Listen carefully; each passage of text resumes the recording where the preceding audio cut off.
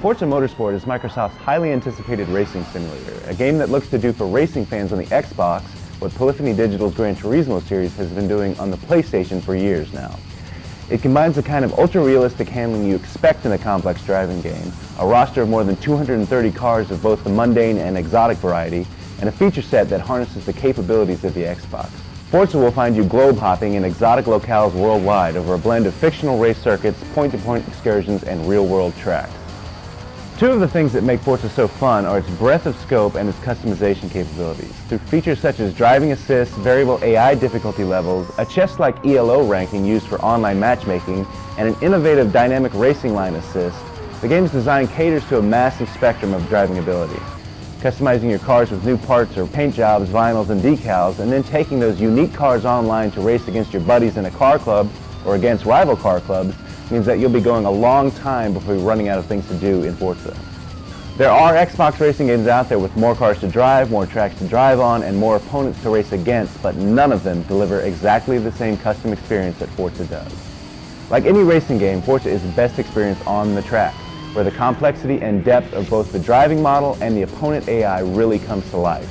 Forza is not only a lot of fun to drive, but is designed in such a way as to stay consistently challenging as you progress. With seamless Xbox Live integration built in from the get-go, the line between how well you race against the game's excellent AI and real-world opponents is blurred to great effect. Perhaps what's most obvious in Forza is the graphics, especially the environments themselves. Sure, the cars look great, richly detailed and all that, but in my time with the game, I found myself often distracted by how good the backgrounds look in this game. Compare the Nürburgring in Forza to the same track in other racing games in which it has appeared of late, and there are several, and the differences are pronounced. There's a sense of depth and place to all of the tracks, as well as a sense of distance as you top hills and peer out over the horizon. It's just a shame there aren't more of these tracks to race on, as the number of racing circuits seems disproportionately small compared to the huge roster of cars available. The sturdy driving model is highlighted by a damage model that, when activated, is gloriously unwilling to let you rail slide your car around turns or bumper car your way through tight traffic. Sure, you can pull off these techniques, but your car will pay for it, to the tune of serious performance degradation. The temperamental damage model is subtle enough to even punish you for over-revving your engine at the start of a race. Forza's much-type AI comes in two flavors, the opponents you race on the track and the Drivatar system. In terms of your competition, Forza's AI delivers tough racing but generally fair-minded foes that seem confidently aware of everyone on the track, you included.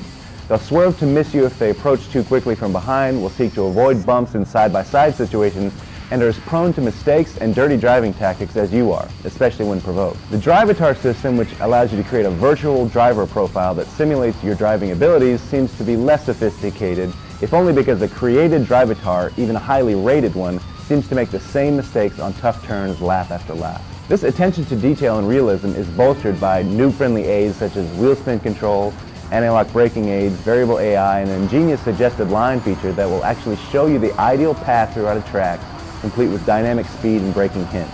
Hit a corner too quick and the line will glow red, urging you to stamp on the brakes. When the line's green, it's time to put the hammer down. So how does this game compare to other Xbox racers? Certainly at the highest difficulty levels, Forza stands on its own as the only true driving simulator to be found on the console. And though a game like Project Gotham Racing 2 introduced Xbox Live integration several years ago, with features such as an online career mode, the ability to buy and sell cars online, and the Car Club feature, which lets you put a name, logo, and group skill rating to your clan of gearhead buddies, Forza seems truly designed from the ground up to provide a cohesive online experience. If there are kinks in Forza's online armor, it's things like the relatively short list of tracks and the ability to race against only eight players online. If you like or love racing games, Forza Motorsport has probably been on your pre-order list for some time now. If you're new to the game or curious about racing games in general, Forza succeeds because of its ability to serve as both an approachable introduction to the genre and as a consistently challenging game, one that you will continue to enjoy for months to come.